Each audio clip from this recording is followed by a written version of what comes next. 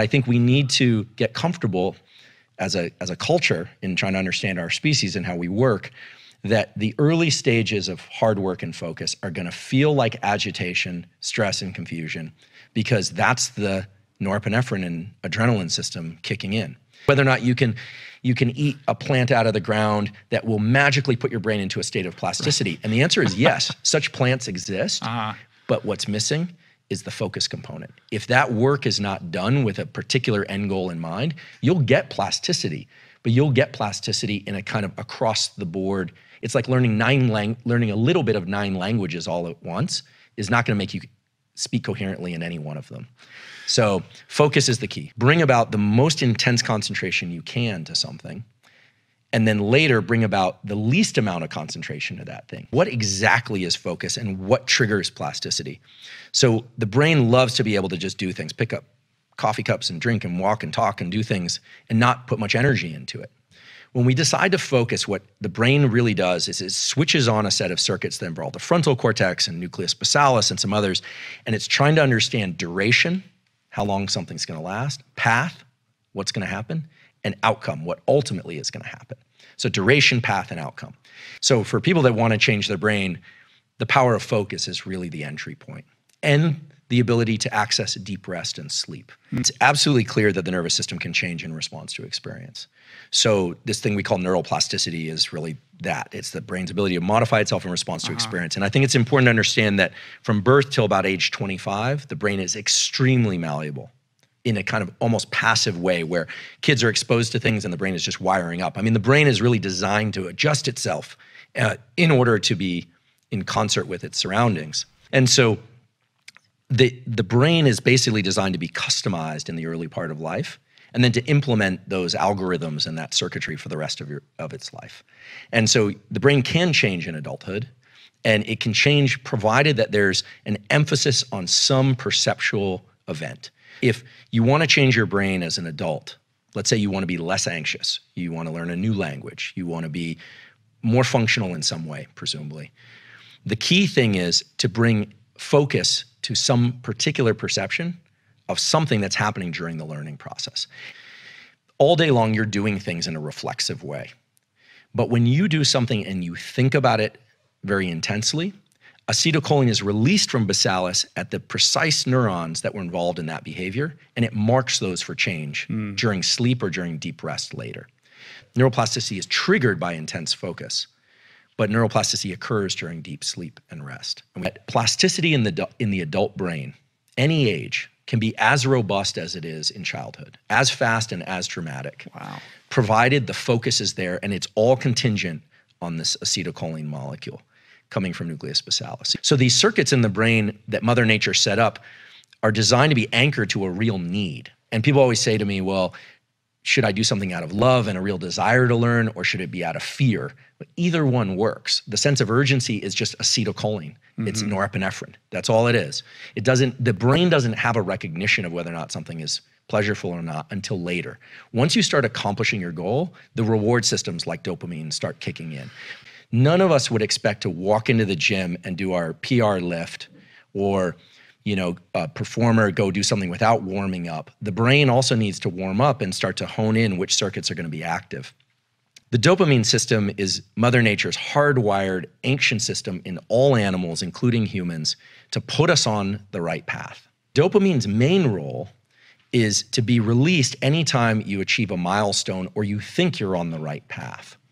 And when the dopamine system is tethered to a particular pattern of focus, remember duration, path, and outcome. So it's like, okay, you sit down, maybe you don't get much text out, but then the next day you get 800 words of really solid text and you feel good. like, I'm, I'm into this. What does that dopamine system do? The dopamine system takes the norepinephrine, which is normally rate limiting, like at some point, there's so much norepinephrine that you quit. Dopamine can push that noradrenaline back down, that adrenaline back down, and give you more room more space to do duration path and outcome work, highly focused work. Mm-hmm. And I'm making duration path outcome synonymous with highly focused work. So when we are on the right path and we hit a milestone, dopamine is released and it tends to tighten our focus more for that activity. just like the stress system is designed to get me out of bed in the morning, a cortisol pulse is what gets me out of bed in the morning. It's also what leads me to, or led me to pursue a career in science out of fear initially yeah. and eventually pleasure. So the dopamine system is tethered to those states of focus. And it's what Mother Nature designed so that the neuroplasticity would occur and you would want to continue those behaviors again in the future. And the important thing to understand is when you start getting a convergence of norepinephrine, so that level of agitation, duration path outcome, acetylcholine, and dopamine, now you're starting to wire in the behaviors that make people really good at certain things. Now, in a functional um, view of this, so not addiction, what this means is that for any of us, success in any endeavor is very closely related to how much focus we can bring to that endeavor. And the reward system you start to realize is entirely internal. No one's coming along and cramming dopamine in your ear or dripping it in your brain. It's all internal. And this starts to bring us into the kind of like discussion around mindsets. The discovery of growth mindset was of these kids that actually really enjoyed doing problem sets that they knew they couldn't get right.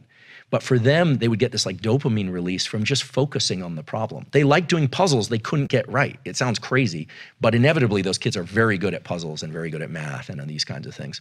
So growth mindset is, I believe, if a sort of a neuro- neuroscience lens on growth mindset would be that the agitation and stress that you feel at the beginning of something and when you're trying to lean into it and you can't focus is just a recognized gate. You have to pass that through that gate to get to the focus component.